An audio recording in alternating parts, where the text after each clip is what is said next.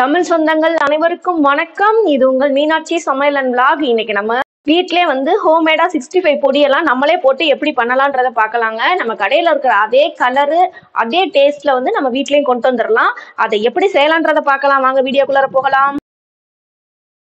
தனி மிளகா பொடிங்க. ஒரு ஒன்றரை ஸ்பூன் அளவுக்கு எடுத்திருக்கேன். அதை இதில் கொட்டிக்கலாம்.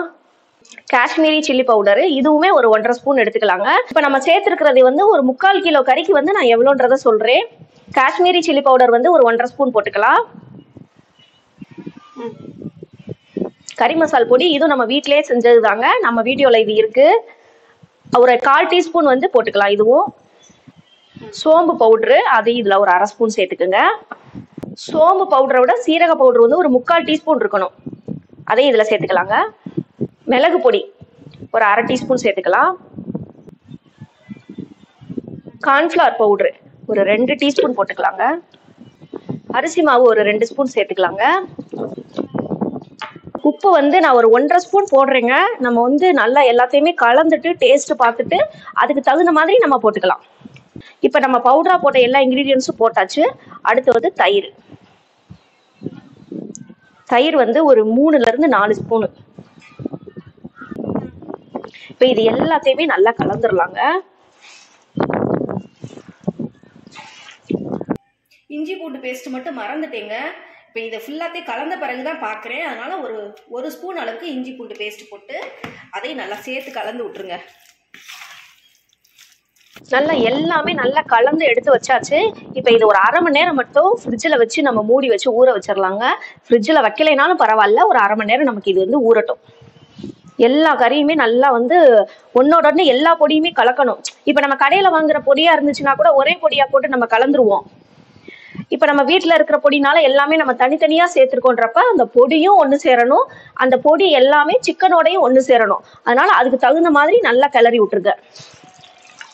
அவ்வளோதான் இதை வந்து ஒரு அரை மணி நேரம் வந்து நம்ம ஊற வச்சிடலாங்க இப்போ வந்து நமக்கு சிக்கன் வந்து ஒரு அரை மணி நேரம் நல்லா ஊறிடுச்சுங்க.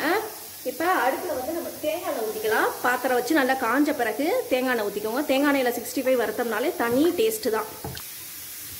எண்ணெய் நல்லா காயட்டுங்க. எண்ணெய் நல்லா காஞ்சிருச்சுங்க. பிகினர்ஸாக இருந்தால் நீங்கள் கரண்டிலே எடுத்து போட்டுக்கோங்க. கையிலலாம் எடுத்து போட வேணாம்.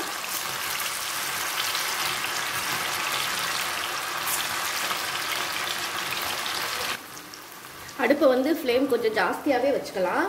ஏன்னா நமக்கு சிம்மில் இருந்துச்சுன்னு வச்சுக்கோங்களேன் ஹார்டாயிரும் ரொம்ப நேரம் வந்து சிக்கன் வறுக்கக்கூடாதுன்னு சொல்லுவாங்க. ரெண்டு நிமிஷம் கழித்து நம்ம கிளறி விடுவோம். உடனே உடனே கிளறிடாதீங்க. மசால் வந்து உதிரவே உதிராதுங்க. இப்போ நான் போட்ட அளவுகளோட நீங்கள் எல்லாமே ஃபுல்லாக நீங்கள் சேர்த்தீங்கன்னு வச்சுக்கோங்களேன் மசால் உதிரவே உதிராது. கடை டேஸ்ட்டில் செம்மையாக இருக்கும். சிக்ஸ்டி இந்த மாதிரி ஒரு தடவை நீங்கள் வீட்டில் சிக்ஸ்டி ஃபைவ் செஞ்சுட்டீங்கன்னு வச்சுக்கோங்களேன் அடுத்து குழந்தைகளுக்கு நீங்கள் கடையில் போய் வாங்கியே கொடுக்க மாட்டீங்க. ஃபுல்லாக கலர் பவுடரை சேர்த்து தான் நமக்கு கொடுக்குறாங்க. அதை பார்க்குறப்ப நமக்கு சாப்பிடணும்னு ஆசை வரும். அதுக்காகத்தான் அந்த கலர் பவுடரே சேர்க்குறாங்க. ஆனால் அவ்வளோ ரெட் கலரில் எந்த ப கலர் பவுடர் சேர்க்காம எப்படிங்க அவ்வளோ ரெட்டாக வரும்? அதனால் முடிஞ்ச அளவுக்கு நம்ம வீட்டில் கடையில் உள்ள எல்லா சாப்பாட்டையுமே முடிஞ்ச அளவுக்கு ஹைஜீனிக்காக நம்ம வீட்டிலே செய்ய கற்றுக்கிட்டோன்னு வச்சுக்கோங்களேன் கொஞ்சம் கொஞ்சமாக நம்ம கடைக்கு போகணுன்ற அவசியமே கிடையாது.